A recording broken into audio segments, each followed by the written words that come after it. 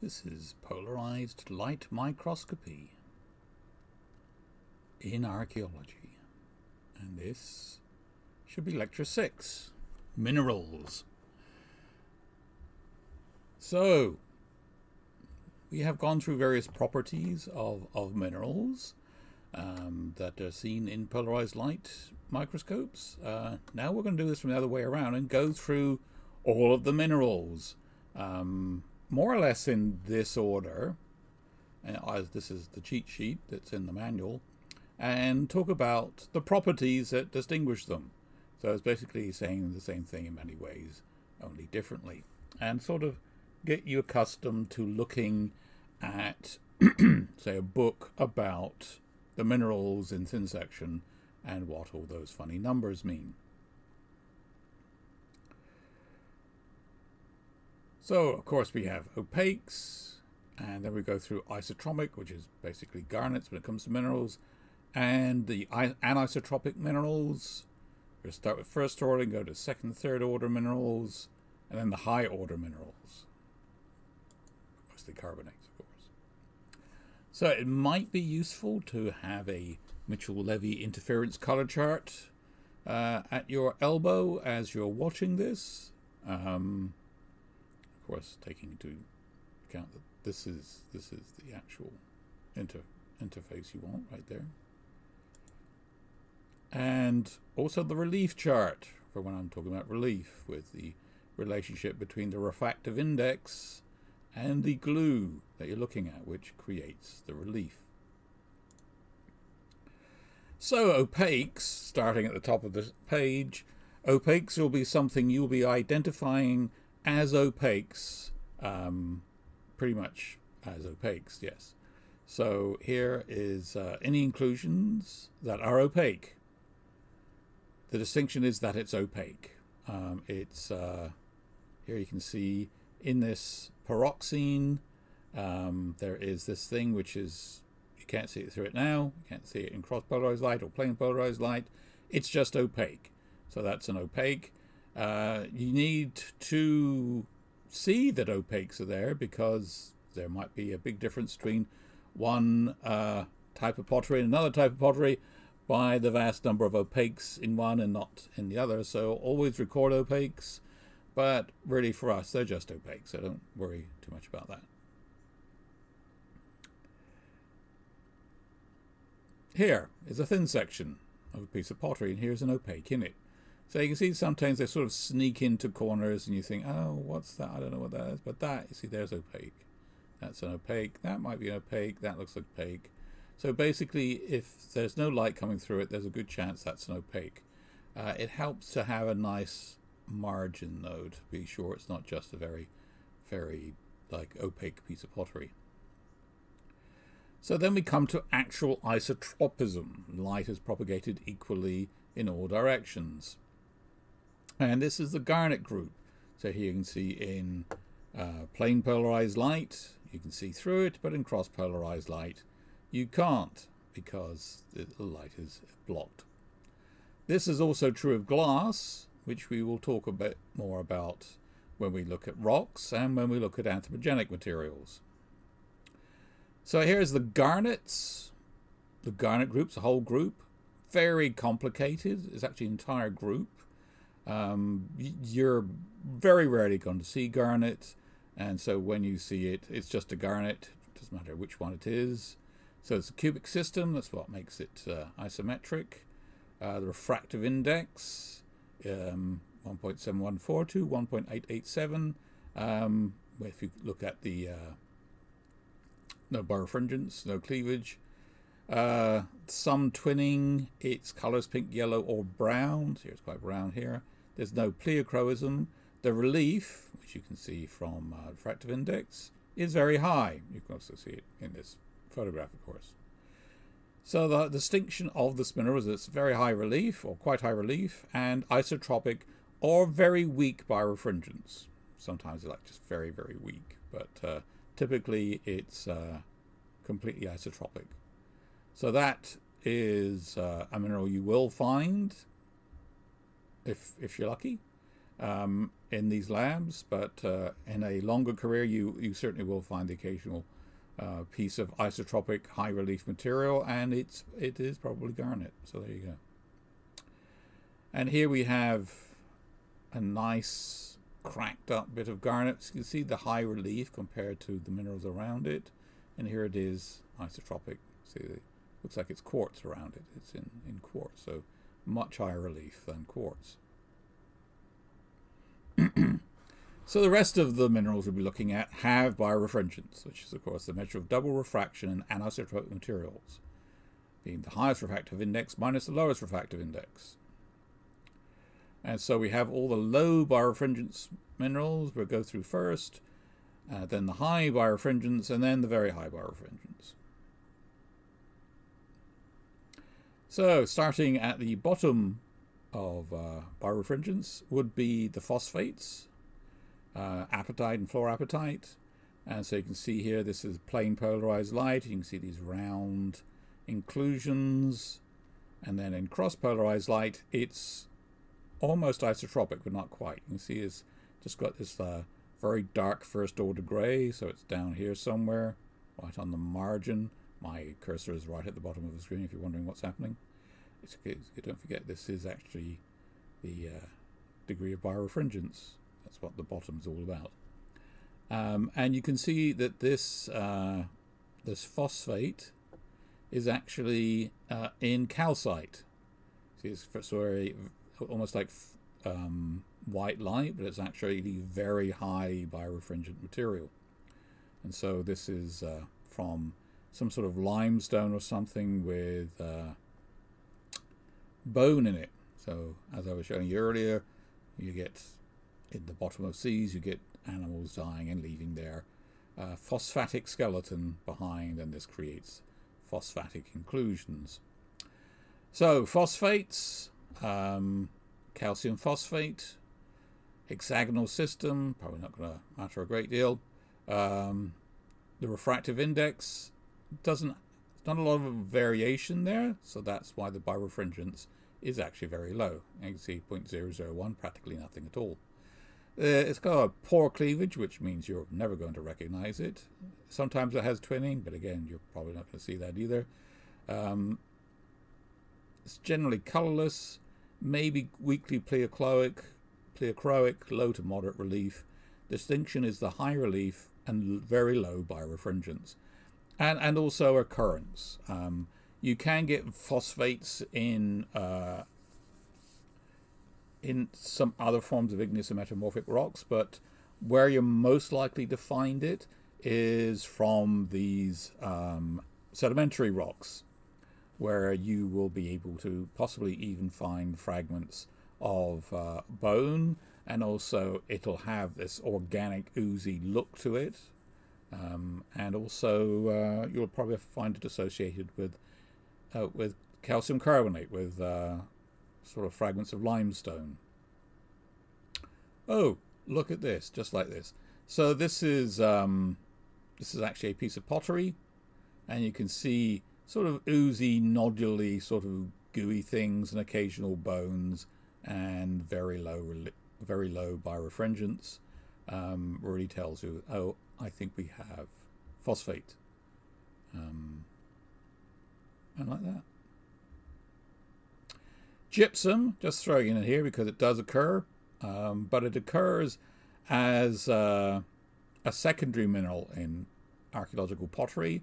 In Iraq, you might find it filling a void in in a in a piece of pottery, and so it's worth uh, knowing that it exists. And you won't be seeing it in a thin section that we'll be showing you, but it's uh, calcium sulfate with with water in it and its uh, birefringence is like very low. So it's also like first order grey, quite dark grey. And it looks like, you know, if you saw a void in an Iraqi piece of pottery near where gypsum is being deposited, you will see something that may look like this and may actually look a bit like plagioclase or feldspar, but is in fact uh, post-depositional, so you have to watch out for that. So quartz. So quartz, you will definitely be seeing a lot of quartz in thin section. So quartz is something you're going to be uh, very accustomed to seeing, and you will need to be able to distinguish between it and other things that look a lot like it. So it's in the trigonal system. Um, refractive index gives it a birefringence of 0.09 and also quite low relief. Doesn't have any cleavage, doesn't have any twinning, doesn't have any color, doesn't have any pleochroism, which you can't because it has no color, and the synchro is readily distinguished by lack of all of these things. Uh, most of the other things it will have um, that look a bit like it will have all these things. So it's quite distinctive. But there are also other things. I mean, here we have uh, a quartz vein uh, going through what looks like a metamorphic rock. And here you can see um, the undulose extinction. You see it's extinct here, but not here, but this is the same grain. You will only see that in quartz. And also in here in plane polarized light, you can see these lines of bubbles, the fluid inclusions I was telling you about. So the complete lack of cleavages and all the other things that are properties, but fluid inclusions and things like the uh, undulose extinction tells you this is quartz. And here's a nice big undulose extinction going from one side to the other. And here are fluid inclusions at very high magnification. So uh, can, of course, increase the magnification to inspect those lines of whatever that is, thinking, is that a crack, is that a cleavage, or are those lines of fluid inclusions? And when you increase magnification and see it's a row of dots, you know it's actually fluid inclusions. You can see, again, fluid inclusions tracking across this quartz surrounded by all sorts of feldspars. So quartz is also very important sedimentary rocks, um, and so it's often weathered into rounded lumps and sometimes very little rounded lumps or subangular lumps or subrounded lumps and uh, will be found in pottery a lot. And in some pottery it's the only inclusion you find including the type of pottery that we call stone paste uh, which is the medieval um, composite of quartz and glass. There's an inclusion of glass there. And clay, so about eight parts of quartz, uh, 10 parts of, of glass, that's anthropogenic glass, and uh, 10 parts of um, so eight, 80 parts, 80%, 10% of clay and 10% of glass to make the stone paste body. Um, and you will be looking at stone paste bodies uh, because, in particular, uh, there you can do fun things with them because you don't need to work out what all the minerals are, which is something will be coming up in later labs. But some of your first labs will be just doing a drawing, uh, working out angularity and stuff like that, looking at stone paste. So you will be seeing this. So apart from the coarsely or macrocrystalline uh, quartz, we have cryptocrystalline quartz or microcrystalline quartz. Uh, in a way, if it's cryptocrystalline quartz, light wouldn't pass through it. So this is actually microcrystalline quartz here. But here, because the light is blocked, right in the middle here, this is, this is probably cryptocrystalline quartz. So it's very finely grained. So this includes a number of uh, types of quartz, but the most common one we will be finding will be chert, uh, which is, uh, so all of this is quartz creating this felty intergrowth here in plane polarized light and here in cross polarized light. And this forms from things like sponges, which have silicious skeletons in them. And also radiolaria, Radiolaria are these things. These are could have done with a scale actually, but these are microscopic uh, life forms that have siliceous skeletons, and these would have existed in the open sea and been deposited uh, uh, at the bottom of the sea, and these would be creating these chert beds. And sometimes we find radiolarian chert. So that's chert, which is so filled with radiolaria fossils that it's called radiolarian chert, like this. So here you can see, you can see here the chert doesn't look very cherty, but this is actually all chert with probably iron staining in it as well. And so sometimes you might find this stuff and it's and you wonder what on earth am I looking at? And you only recognize it because there's a radiolaria in it. And here's some other sort of fossil thing going on here. So uh, here is actually some radiolarian chert from the upper uh, Tigris. And here you can see the fossils in the chert. So if you didn't have the fossil, you might have trouble identifying this. See, and here's another fragment. So if you had an inclusion, say, which was like this bit, and you would think, I don't know what that is. What on earth is that? And for one thing, if you only had that one grain in the entire thin section, one thing you might want to do is actually don't worry about it because clearly it's just not meant to be identified. But what you really should do is trying to find something a bit like it that you can identify. So if you see a fragment like this big, which doesn't have the radiolaria fossils in it, then you need to go around and find a bit that does have the radiolarian fossils in it, and so you can identify it. So if you can't identify it at first, try and find something that looks like it, but you can identify it. It's the first thing you do whenever you're trying to identify things. And this is again a stone paste. This is the petrofabric or petrographically defined fabric for Kashan in Iran in the medieval period. And you can see it's entirely filled with chert. And this is actually the glaze on this side with, uh, with tin uh, opacification going on. So serpentine. So I can see we're, we're looking at the properties as we're going through the mineral system. We're not looking at at it in uh, the uh, classification of minerals. We're looking at it just this this looks a bit like that, and so we'll go through the system like that. So serpentine, we will see. Um, its refractive index also gives you a birefringence because it doesn't have much of a range, which is quite low. So first order gray, see here is cross polarized like first order gray. Um, there'll be occasional twinning. There is cleavage, but it's very difficult to see quite often because you don't see like big crystals. It tends to be a very fibrous growth.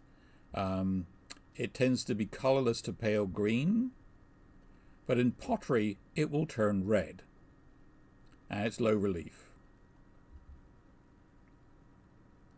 So this actually is a piece of of serpentine in a piece of pottery, uh, this time from the upper Euphrates. And so this is uh, from the Taurus Mountains, and we'll be talking a bit more about that when we get to rocks, about where minerals come from. Um, but the this serpentine here looks like a bright brown blob, and you're probably wondering how to identify that because its properties aren't like that exciting. This is in plain polarized light, of course, in cross-polarized light, this would be very low by birefringence. So what I would do if I saw that would be I need to find something like it that is identifying. And so if I actually go back to this, you'll see serpentine is actually a replacement mineral. Replaces another mineral. Replaces olivine, actually. And I'll be talking about that when we talk about rocks. Um, this And so this replacement creates this what looks like shear zones going across the mineral. And so what you want to find is that sort of shear zone. And so when you find these red blobs that look like that, but with that going on, then you know this is serpentine. And so there's some more lumps of it here. So that is serpentine. So then we come to the feldspars. We're now in the um, feldspar group. This is sanidine, which I'll just briefly show you here, because you're very unlikely to ever identify it, even if you do get it. You get it in certain potassic and alkali feldspars um, as what we call phenocrysts. I think the merry men want me to leave, but I shall carry on. Um, and they look like this. This is the, the simple twinning you get in Sanidine. But if you had a teeny fragment of this, you'd probably think it was something else, so try not to worry about it. Uh, orthoclase, the potassic and alkali feldspar group, is something you're more likely to find. So it's uh, so you get potassium aluminosilicate, uh, monoclinic system, refractive index means it has a low birefringence. It has cleavages. So cleavages is one of the things that tells you that this is not quartz. Um, it will have some twinning, but not the sort of thing you will confuse with something else. It's uh, colorless at all times. Um, so it's an absence of the crazy twinning we get in the other ones. And it has a lower refractive index than, than quartz, but you're unlikely to be able to distinguish that in pottery. Uh, for that, you would need to have, say, a granite or something where you have a piece of granite uh, which has quartz and feldspar next to each other, and so you can actually see the difference. So what you're really going for here is things like the cleavage, which is difficult to say see in this photograph, but when you're looking at it, you want to go to higher magnification, really look at it properly. And of course, as I told you earlier, this will break up into blocks that enables you to say, hey, that looks like a feldspar.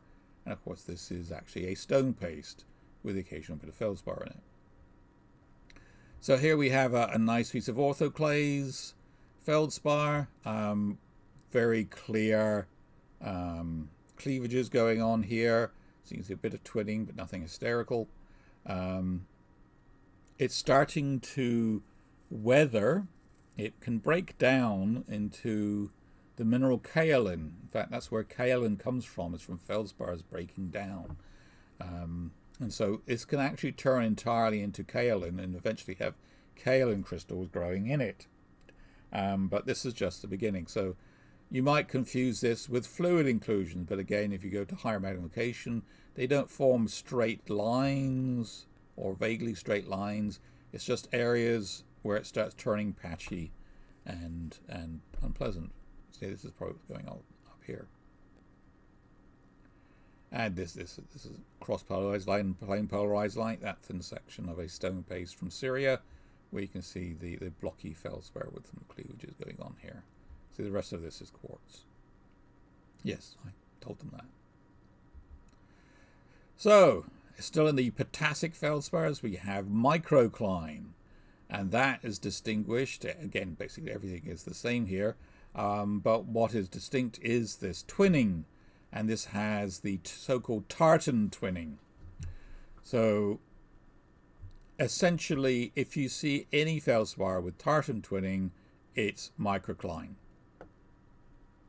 I think everyone would just go along with that and that's fine. So you see this pattern in a feldspar, go with it. Here it is in plain polarized light. You can see it also slightly starting to get weathered here. Um, can't actually see any cleavages, but they're they're there if in higher magnification, probably, certainly. And here you can see the tartan twinning, very distinctive. Won't be able to miss that. Um, here's a close up of it. And here it is in a piece of pottery from Belize. And here it is in a piece of pottery from Nishapur in Iran. This is actually stone paste, so the rest of this is quartz, except for this bit, which is probably also a feldspar. Now we come to plagioclase. So plagioclase has a sodic and calcic end member, so that's solid solution series. Um, but they are all they all have these attributes. Again, first order grey birefringence, um, nice cleavages. You can just see them going on here parallel to the uh, to the twinning. But what is really distinctive is this lamellar twinning. The, the, the, the mineral that looks like a zebra will be uh, clearly plagioclase. So this actually brings up um, how orthoclase is identified when it doesn't have any twinning. Essentially, it has to be a tacit acknowledgement that any untwinned feldspar you're going to call orthoclase. Um, and in fact, it might be better just to call it untwinned feldspar. But uh, that would be something that you would want to write up, that you are saying all untwinned feldspar is, is considered to be orthoclase unless proven otherwise. So here is the plain polarized light of that version. Also, again, you can see it's slowly breaking down into kaolin, and but the cleavages are, are a bit more visible here. Also, the zoning, very typical of plagioclase, here with some lamellar twinning as well. And here are some in some pottery. And you can see this is uh, from the Yemen, um, where we have a lot of plagioclase in the uh, in the pottery there. You can see it's slightly been turned around so you can see the extinction within the twinning. And here's another uh, piece of plagioclase, this time with zoning um, from Mexico. Then there's perthite. Uh, perthite is actually a texture that includes the potassic feldspar, which is the host, which you can see in this case not, is not just a potassic feldspar, it's actually microcline. And plagioclase, and this is the sodic end member, only the sodic end member does this. Uh, albite, it's called albite, um, plagioclase. And so that's what this is. And if you look carefully, you can see it has the lamellar twinning going on in here. Very fine. So this is plagioclase, this is uh, microcline, but together you would call it perthite. Here's another one, you see. So you have one type of feldspar integrating with another one. Plain polarized light, you can barely see anything going on at all. And here's another one. Again, you can see lamellar twinning here and tartan twinning here. So this is all intergrown. And here, this may actually be an antiperthite, which is the opposite, which is a plagioclase with a potassic feldspar in it, because there seems to be more, um, more of the lamellar twinning going on than the non-lamellar twinning. So perthite will be something you will see. I think we'll be looking at a Yemeni fabric, which you will find perthite in it. Uh, but you need to be careful you're not finding granophyre, which superficially looks very similar. But this is actually a potassic feldspar, again, as the host, but with quartz intergrown in it. So this is a cross-polarized uh, view of it, but you can see this is very clear and this is less clear.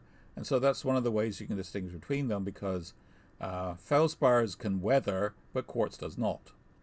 And so you know, this is slowly turning into kaolin and it makes it easier to distinguish between them. In this case, in other cases, it may be less easy.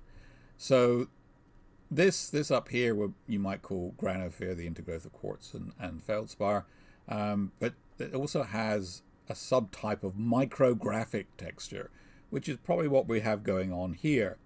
And this uh, grano, uh, graphic texture uh, is thought to look like cuneiform writing, I believe. Doesn't look anything like cuneiform writing to any uh, student NMC, probably. But yeah, that's what they see. See the wedge-shaped things going on here. Uh, so these are wedges of quartz within the feldspar. And so micrographic texture. So this is micrographic texture within a granophyre. And a granophyre is also a type of rock. It's uh, what we call hypabyssal, which means it's sort of underground, but not very, very far. So, now we're actually getting into ferromagnesian minerals, orthopyroxenes. So you will see pyroxenes. Pyroxenes are very obvious because they are high relief and very distinct from quartz and feldspars and things like that you'll be seeing. So again, refractive index will give this a moderate to high relief. Um, the range will give it a birefringence, which is not actually very high. So it's sort of around here. It can be yellow or grey. You can see this is in cross-polarized light. It's actually quite grey. Uh, color in plain polarized light. light. It can be colorless or reddish or greenish, uh, depending on which end of the spectrum it is. Um, it will have some pleochroism for this magnesium-rich one. Um, but, of course, the most distinctive attribute of the orthopyroxenes is the straight extinction. So here you can see orthopyroxenes uh, with what looks like feldspars.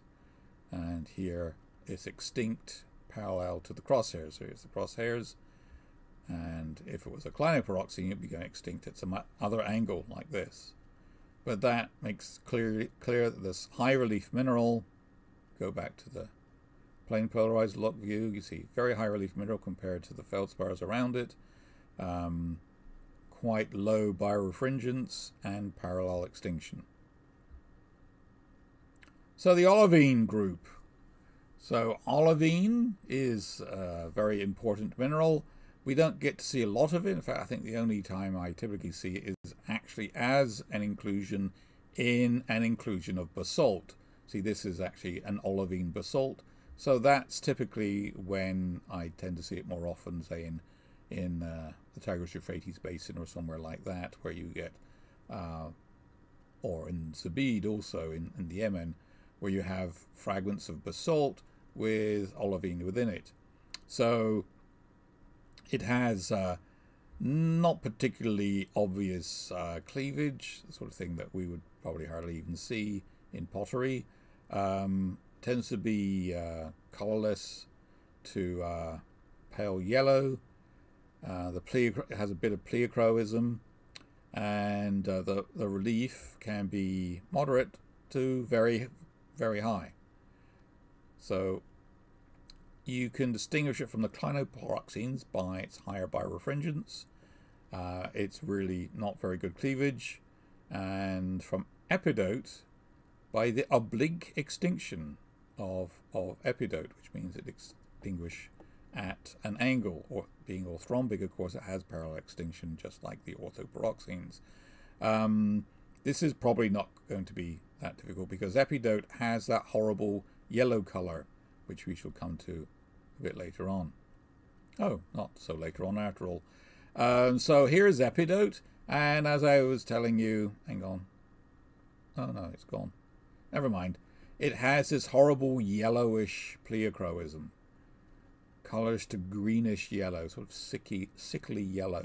You can see there's bits of it here and bits of it gone a, a darker yellow.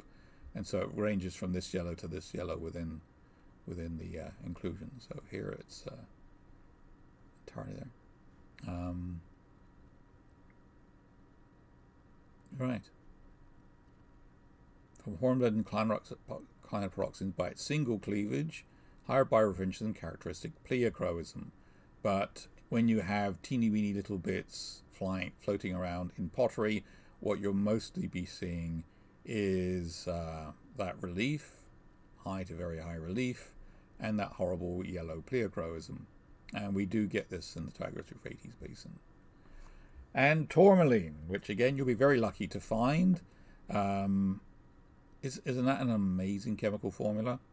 And basically you can have almost anything in it, as aluminosilicates go. But the most important thing is, of course, the boron. There it is, B. Um, it's very distinctive element in tourmaline. Uh, the refractive index um, gives it uh, quite high birefringence. The cleavages typically are poor. They don't look bad here, but you know. Oh, sorry, gone too far. I wanted to do that. But what is really distinctive about it, of course, is the pleochroism and uh, and like that. So the marked pleochroism, um, even dichroism, where it actually goes through more than one color, more than two colors, I should say, um, really makes this a very distinct mineral when you actually get to see it, which you may you may get to see it when we're looking at pottery from Godin Tepe in the Zagros Mountains of Iran. So then we come to the clinopyroxenes. So you had the orthopyroxenes, and now it's the clinopyroxenes, which are separate because they are higher birefringence. Because now we're, we're way up here somewhere, you see. If you're looking at the colorful thing at the bottom of the screen here, way up here. So the orthopyroxenes will be down here somewhere, and the clinopyroxenes will be up here somewhere. So that's a major distinction between them, even though they both have the same uh, cleavage Um, I keep saying it's 97, 90 degrees, but it's probably actually 87 degrees, like this says. Too good at 87 degrees. so this one is actually diopside Hedenbergite, so that's around here.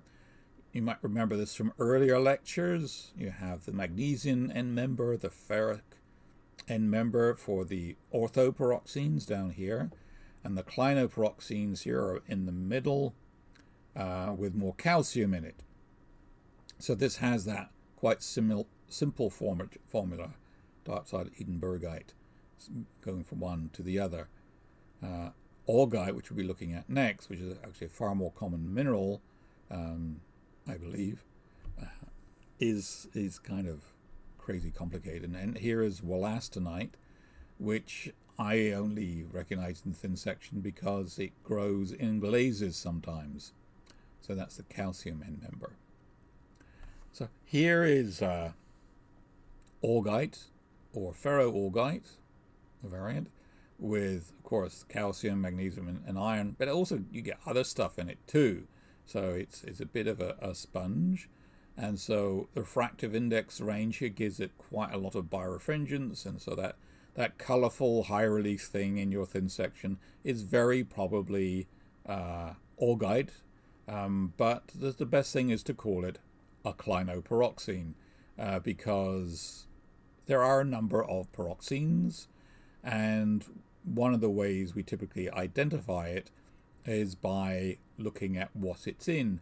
This is in a volcanic rock, this one. And you can actually see the properties of a volcanic rock that are glassy. This is a glassy volcanic rock because it's actually isotropic, the volcanic glass. And so it has these crystals, these phenocrysts as we call them, of augite, um, which is the kind of uh, pyroxene you get in most uh, volcanic rocks. But when you have just a lump of this floating around in a piece of pottery, then you're going to not necessarily assume it's an augite, but just call it a clinopyroxene. And that's what it's called on your form.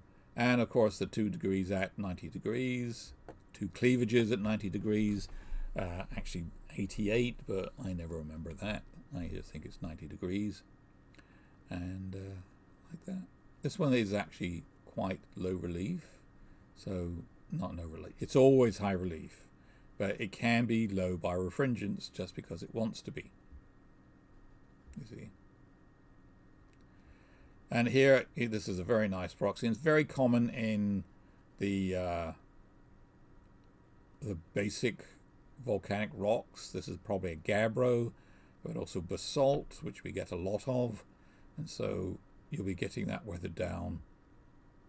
And here is actually a gabbro. You see this one's actually slightly pleochroic. And here we have it in a piece of pottery.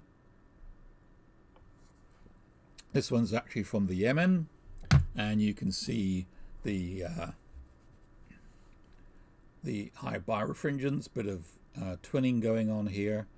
Um, this is actually the slip and the glaze, and this is the rest of the universe, and this is the pottery.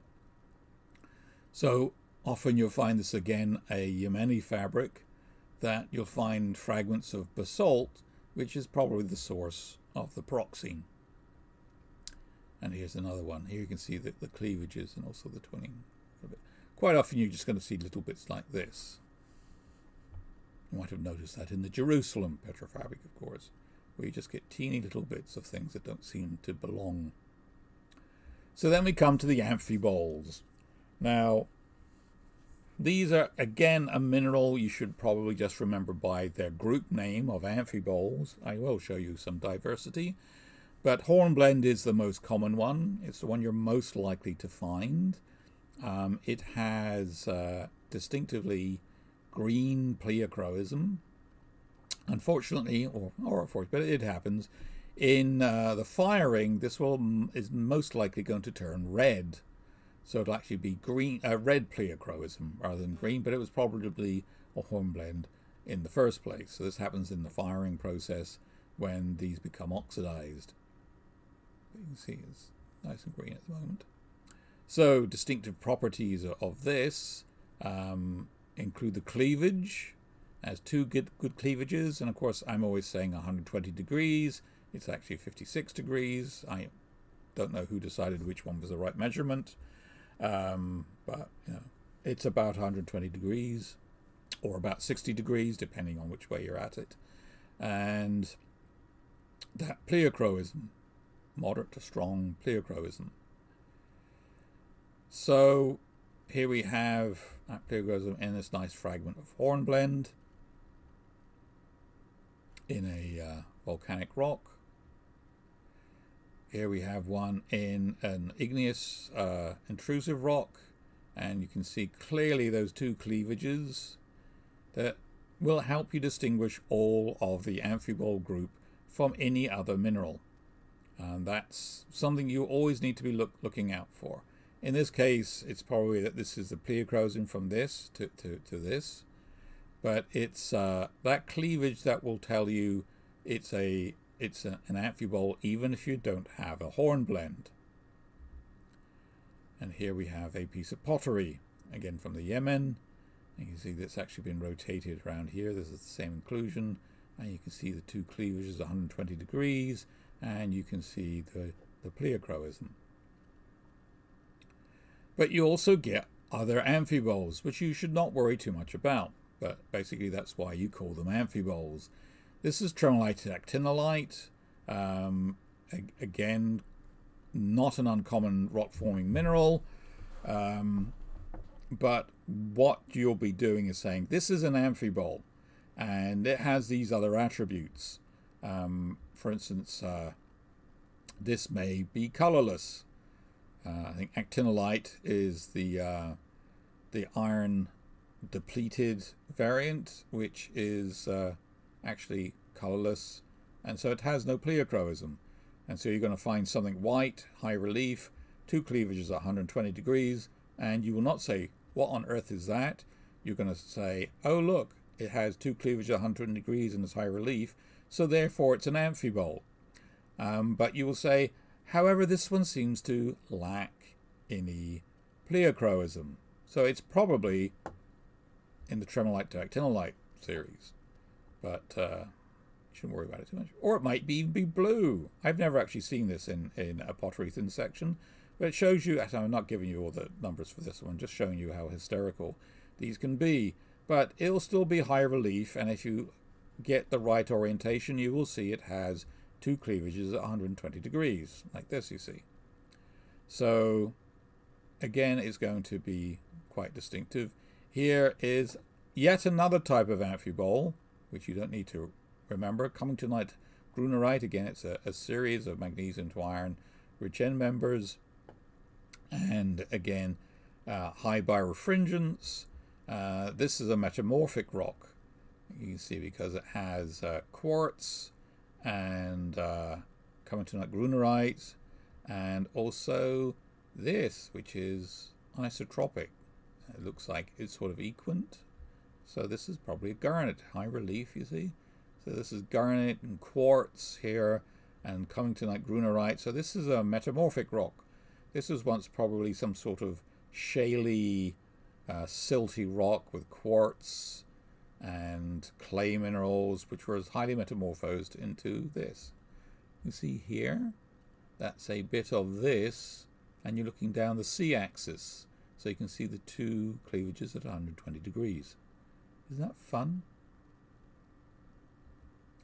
So that brings us to the mica group, also very major rock forming minerals. And so there are a couple of other ones which we shall not worry about because we mostly just see muscovite and biotite. And really there are a number of attributes for all the mica group and the colorless one is muscovite and the brown one is biotite. Um, so any colorless mica may be considered to be muscovite. Just call it muscovite. Feel free. Um, but one thing about it is at higher firing temperatures, the muscovite will burn out. Uh, it can be destroyed just like uh, the clay minerals can be at a high enough temperature.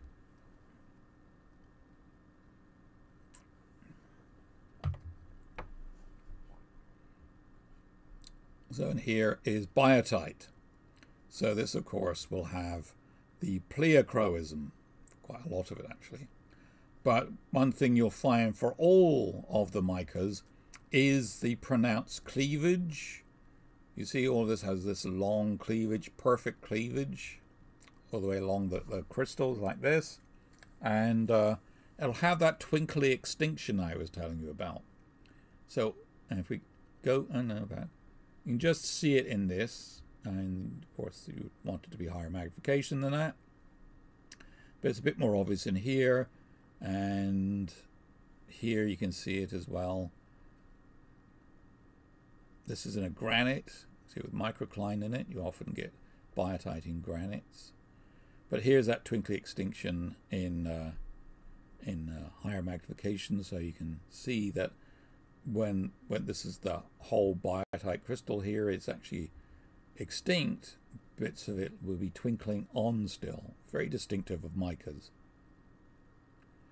And here we have uh, biotite. This can also get really messed up in the firing, um, and it but it tends to not actually completely disappear.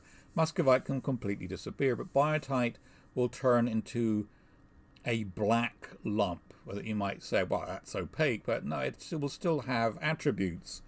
And you will look at something that might be opaque and see that it actually is elongate. You see, this this is actually not opaque. It's this would be pleochroic if uh, we turn the stage, but it's um, see, very colourful. But uh, you see how during the firing process it's starting to break up along that cleavage. And so if you see something which is elongate like this, which is what we would call a cleavage fragment, and you can see the cleavages are highly developed, but it's turning black because it's being destroyed in the firing, then you probably are actually looking at biotite. And you may see lots of little plates of what may actually be biotite in the matrix. So this is one type of what may be opaque. You'll be wanting to say there are all these elongate opaque things and the pottery looks highly fired. So this may be biotite. And so you want to, because it's very important if you have some other pottery from the same site that uh, is lower fired and it has biotite, you don't want to get confused between the biotite and the opaques. and so that brings us to right at the top here. So we've gone right off the range. At, I'm looking at the bottom of the screen again. Um, and we're off into the white light zone and we have calcite. So here is calcite. I don't know what's happening there. And so this is that plain polarized light. Um, and you see it's, this is what this is showing is, um, I don't know why the thing isn't first, but never mind. Um, this shows that distinctive feature I've showed you about before, where the uh, relief changes when you rotate the stage. So it's very distinctive. So extremely birefringent. See, this is the full breakdown. Uh, it has a cleavage, uh, but it's it's the, the great range of refractive indices that makes it very highly birefringent. So we're, we're practically looking, looking at white light in places, or very pastely soft shades of, of colors. Um, and another thing it will have will be um, that variable relief, which makes it distinct from all other minerals. Also, it tells you it's effervescent dilute HCl, but you can't see that in thin section, of course. That's why you'd be best to call all of the carbonates carbonate then, rather than actually try to identify them as calcite. Um, typically, what I will do is say, oh, this has X percent carbonate in it, which I think is this. Um, in this case, it's calcite. And of course, one source of this is probably marble, the metamorphic rock, but where it comes from originally is from the bodies, the skeletons of calcareous skeletoned organisms. And so here you can see all this fossiliferous limestone, which is typical of a source of, of calcite in the earth. And we find it in pottery. You find it in pottery quite a lot. Um, this can also get fired out at very high temperatures, um, but typically we'll have what we call sparry calcite, um, which are crystals of calcite, which here you can see they are broken into, again, cleavage fragments. And you can see the, the two very nice cleavages, and it's um, it's actually been broken up in order to be added to this pottery that's been tempered with uh, with crushed calcite, um, which makes it this this is actually a, a cooking pot because calcite likes uh, uh, cooking pots like calcite. We'll probably talk a bit about that later on. Um, and you have micritic carbonate, which is the fine grained stuff which may actually be like a fragment of limestone. But uh, basically, just call it micritic and sparry calcite. And then you have dolomite, um, which again looks pretty much like calcite. If you have uh, little bits of it in a piece of pottery, it's better to call all of the uh, carbonate carbonate unless you have some evidence to say what it is. A certain line of evidence would be like you can stain it. You can actually stain calcite, but you can't stain dolomite. Um, but we're, we don't do that for pottery thin sections because we do well enough without being able to precisely identify whether it's dolomite or calcite. Um, although occasionally, if, if you would imagine this is a rock in which all the pink bits are being weathered out, then you will have these distinctive rhomb shapes, which are the dolomite. And uh, I've actually seen pottery from western Syria where that is so. So it's known that this is actually dolomite that is in the pottery. So that concludes our look through the minerals. Thank you.